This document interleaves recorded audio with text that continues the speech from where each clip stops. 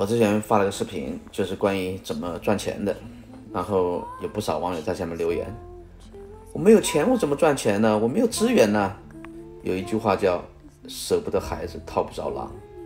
有钱人呢，看到一个狼窝，他都不知道里面有没有狼，他也不知道里面有没有危险，里面也看不清楚，但是呢，他还是会钻进去，因为他知道，因为这是个狼窝，他可能会有狼。